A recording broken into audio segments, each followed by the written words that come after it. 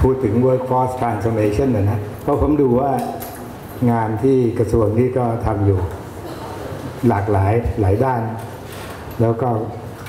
เท่าที่ดูเร็วๆ ก็ค่อนข้างดีใช้ได้นะแต่เป็นการทำงานทำงานปัจจุบันให้ดีเต็มที่ แต่จริง ๆ แล้วประเทศไทยเราอยากจะเป็นคนชนิดใหม่ ประเทศชนิดใหม่ ผมเห็น projection หลายอัน 30 ปี 50 ปี 80 ปี คือเข้าไปอยู่ใน OECD ให้ได้ ถ้าอยู่ใน OECD นี่คนงานนี่เป็นคนละชนิดเลยนะครับ เพราะว่าไม่ใช่ว่าขัดให้ใช้เครื่องจักรได้ดีขึ้น แต่ระบบทั้งระบบมันก็จะเป็นระบบที่ของประเทศที่พัฒนาแล้ว ผมคิดว่า ทางกระทรวงควรจะมีแผน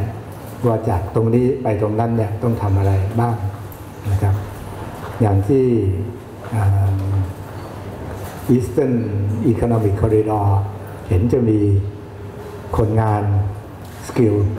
460,000 คน ก็ต้องถามว่านั่นคือจำนวนที่พอให้เข้ามา หรือเป็นจำนวนที่ชี้ชวนให้เข้ามา ราะว่าต่างชาติเวลาเขาจะมาลงทุนก็จะต้องดูว่ามีคนงานไหมอีกเรื่องหนึ่งว่าแล้วมีอันตรายอะไรไหมอันตรายเราก็คนไทยไปไหนมาไหนรู้สึกอันตรายมันก็ไม่ได้อันตรายมากนะมีที่สามจังหวัดชายแดน เป็นจุดที่อะไรนั่นเป็นเสี่ยงในเวลาขนส่งเขาก็ต้องเขียนเขาเขาจ้างบริษัท consultant มา consultant ก็ต้องรายงานสภาพการเศรษฐกิจ การงาน แล้วก็จะต้องมีเรื่อง security เรื่องอนาคต เพราะใครมานี่เขาต้องถือว่าอย่างเร็วที่สุดที่เขาจะคุ้มทุนก็สิบปี เขาก็ต้องกะอยู่ 30 ปีละถึงจะสบายไอ้สิบปีถึง 30 ปีนี่ทางปักทางชายแดนภาคใต้สามจังหวัด ก็อาจจะเป็นจุดที่ทำให้เกิดความไม่สงบได้ แต่ไม่อยากพูดเรื่องนั้นวันนี้นะเพราะไม่ใช่ไม่ใช่เรื่องใหญ่ของกระทรวงแรงงานที่เขาจะต้องดูก็คือว่าถ้าเกิด เกิดประเทศมันเจริญขึ้นมา แล้วเรามีโครงองค์กรมีโครงสร้างอะไรไหมที่จะเอาไว้คนคนละชนิดเลยให้เขานะครับสื่ออาจจะไม่ต้องมาเลยแล้วอีก 30 ปีผมพูดที่นี่สื่อนอนอยู่ที่บ้านแล้วก็อะไรผมไม่รู้นะ แต่ว่าลองดูประเทศโมอดลที่เห็นว่าดีที่สุดก็พวกนอร์เวย์สวีเดนนะเดนมาผมไปทีไรก็โอ้โห ชีวิตเขาสบายไม่ได้รีบเร่งไม่ได้รีบร้อนไม่ได้อะไร ไปทำงานพอเวลาถึงเขาก็เข้า หยุดกลางวันเขาก็กินแซนด์วิชสิบห้านาที แล้วก็กลับไปทำงานต่อ ไม่ได้รีบร้อนอะไร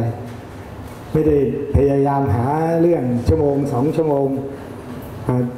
ไปพักผ่อนไปอะไรอย่างนั้นนะทำงานสบายมาก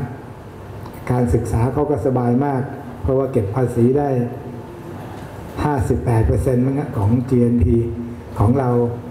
วันผมเข้ามามัน 18 วันนี้มันก็ 18 นะครับ เคยลงไปถึง 13 สมัยต้มยำกุ้งนะการเปลี่ยนแปลงเราคงต้อง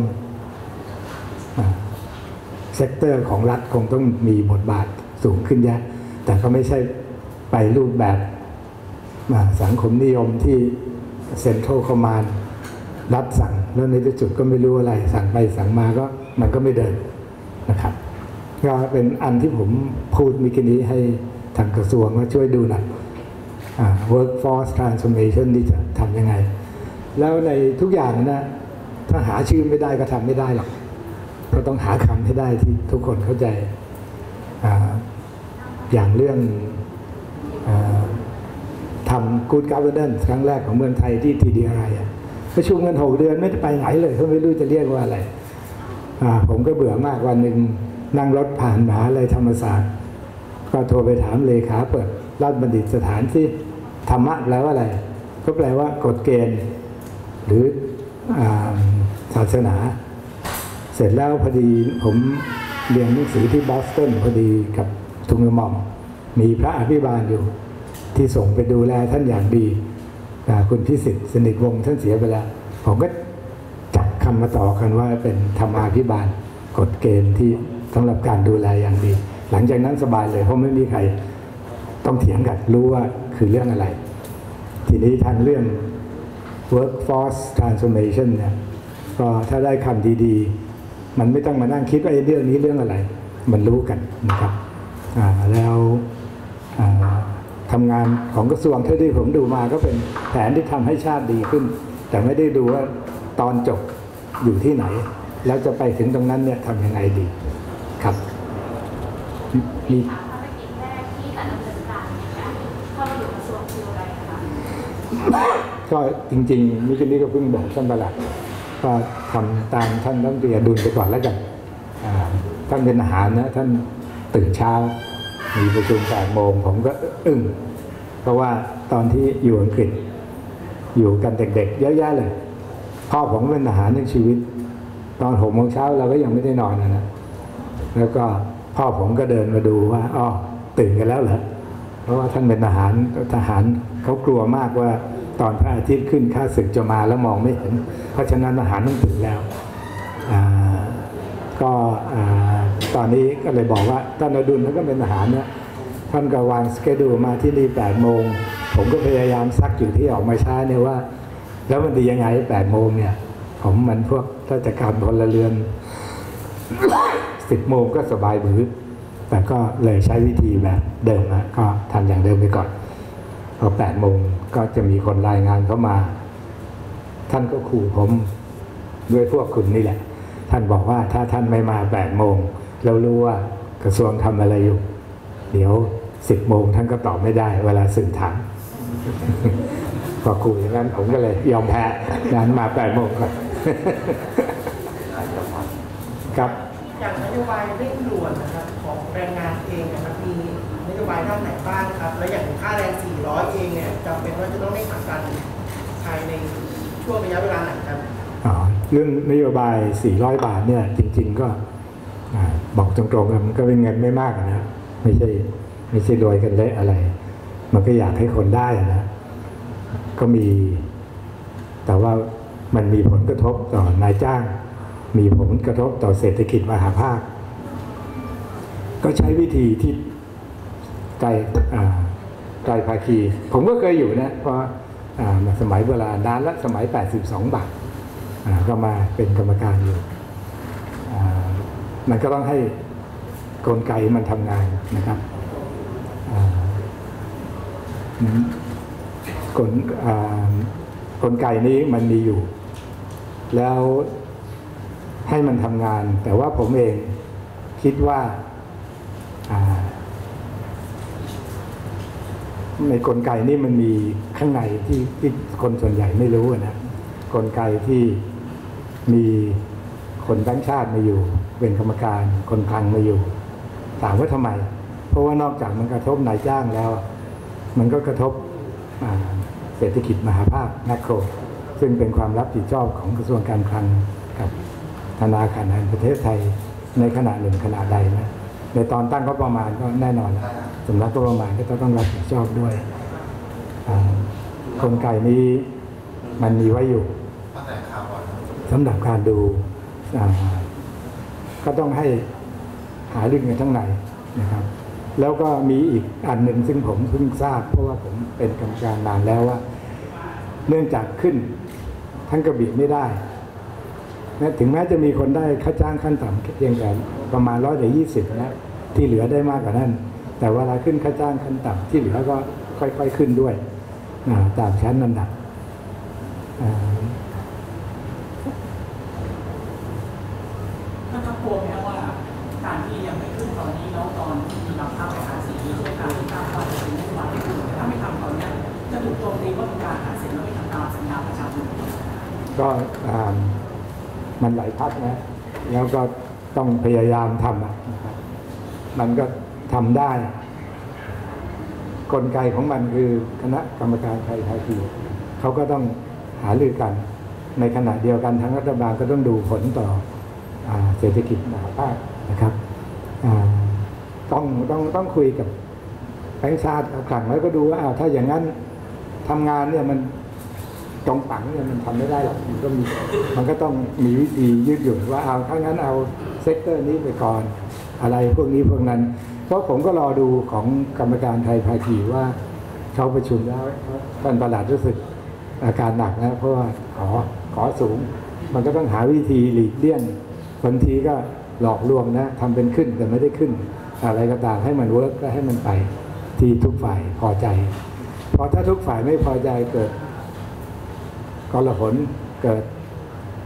ทางด้านนายจ้าง เลิกจ้าง หรือคนจะลงทุนไม่มาเนี่ย มันเสียหายกับลูกจ้าง อาจจะไม่อยากพูดมากกว่านะมันเสียหาย ผู้ที่ทำก็ต้องดูแพ็กเกจท่านประหลัดท่านก็อยู่มานานแล้วก็ต้องต้องต้องดูนะครับ เราก็มีทางด้านข้างนอกแมกโรอีกอันหนึ่งก็ถ้าเผื่อทำไปแล้วเกิด ปัญหาจริง ๆ เกิดภาวะเงินเฟ้อเพราะว่าค่าจ้างสูงไปนะครับนายจ้างไม่เลิกจ้างจะจ่ายค่าจ้างสูง มันก็มีระบบดูแลเงินเฟ้อก็คือ inflation targeting หรือเป้าเป้าเป้าเป้าดัเป้าดัชนีราคานะที่ผมที่ผมทำไว้ตอนสมัยเป็นผู้ว่าวิธีที่มัน work มันก็เป็นขั้นสุดท้ายที่ทุกอย่างไม่ work แล้ว ถ้าราคามันขึ้นมากไป เขาขึ้นดอกเบี้ย ผลก็คือทางด้านนายจ้าง ก็จะมีปัญหาเพราะว่านายจ้างส่วนใหญ่กู้เงินไว้ที่จะมีเครื่องจักรก็จะโดนออันนี้นะครับถ้านายจ้างมีปัญหาจริง ๆ แล้วในที่สุดลูกจ้างก็มีปัญหาเองนะครับ ก็ตอนนี้คอยคอยดูกรรมการไทยภาคีว่าเขาจะตกลงกันยังไงทำมานานแล้วมีคนที่สอดคล้องถูกต้อง ผู้ใหญ่นะครับ ทางบางชาติก็ลองผู้ว่าครับทางคลังด้วย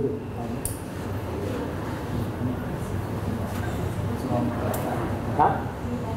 บางชาติกระทรวงพาณิชย์อ๋อครับ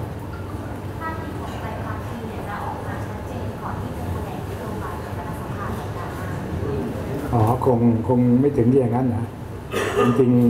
ๆไซเคิลการขึ้นค่าจ้างนี่ธรรมดาประกาศเท่าไหร่ ปีงบประมาณปีใหม่ปีใหม่เลย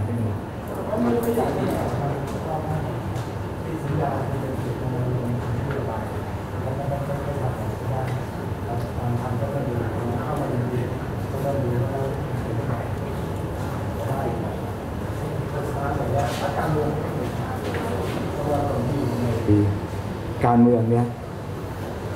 ก็เป็นคนชนิดหนึ่ง คนที่อยู่ในราชการก็อีกชนิดหนึ่ง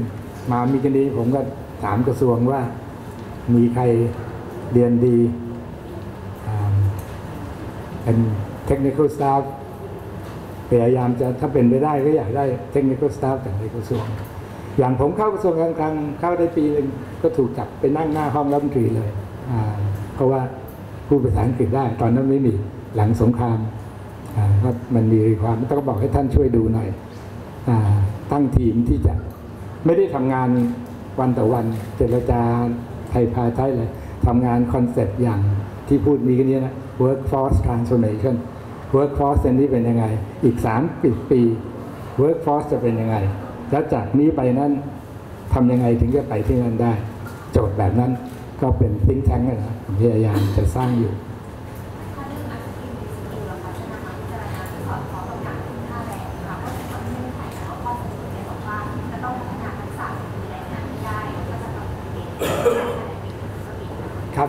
เป็นงานที่ทำตามงานที่มีอยู่ แล้วก็ทำมันให้ดีขึ้นมากขึ้นแต่โจทย์ที่ผมอยากได้คือว่า ตอนจบอยู่ที่ไหน 30 ปีเนี่ยที่ผ่านท่านผลงานดูทีนผมว่ารัฐบาลทำได้ดีพอสมควร ทำได้แค่ไหน อีกเรื่องหนึ่งผมก็ยังไม่ได้ดูไม่ได้ไม่ได้นึกว่าจะมาที่นี่นะขอเวลาขอเวลาศึกษาแบบเรารักประมาณนี้นะครับ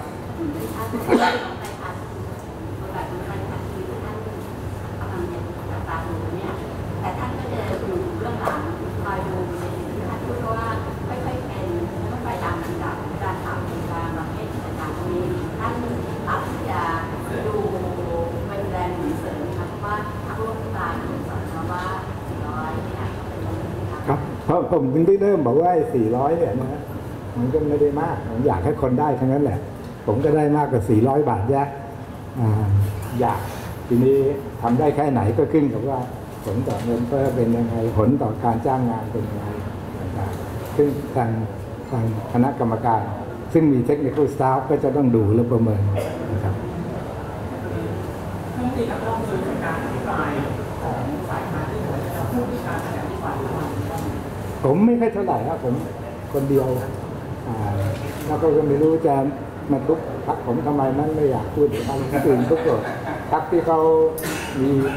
อ่ารัฐมนตรีสิบคนอะไรก็แน่นอนเขาต้องเป็นเป้าเพราะ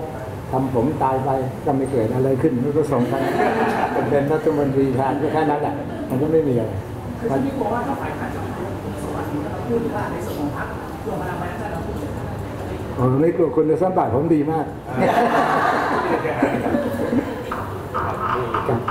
ไม่มีประเด็นอะไรใช่ไหมครับครับงั้นขอบขอบคุณมากครับขอบคุณสื่อทุกท่านนะครับขอบคุณครับขอบคุณครับขอบคุณครับ